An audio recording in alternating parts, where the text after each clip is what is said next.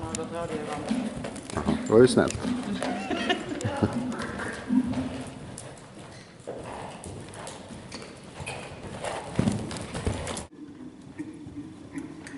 Jättefint.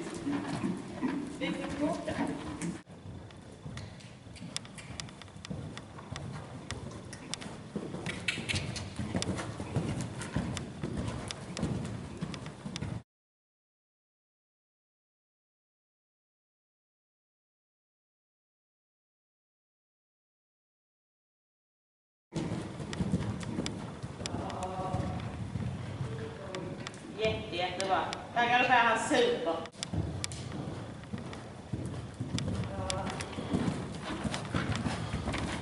Jättefint.